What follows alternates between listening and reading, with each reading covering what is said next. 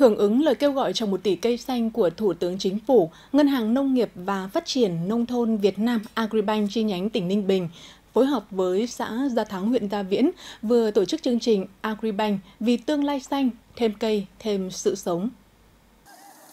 Trong dịp này, Agribank chi nhánh Ninh Bình cùng với địa phương đã trồng mới 1.600 cây xanh ở khu vực trụ sở Ủy ban Nhân dân xã và trục đường liên xã. Thông qua hoạt động này, góp phần nâng cao ý thức bảo vệ môi trường, chống biến đổi khí hậu, đồng thời giáo dục cho mỗi người, nhất là lớp trẻ, lòng yêu quý, tôn trọng và bảo vệ thiên nhiên, môi trường sinh thái nói chung và cây xanh nói riêng. Đây là hoạt động nằm trong chương trình trồng 1 triệu cây xanh được triển khai trong toàn hệ thống Agribank.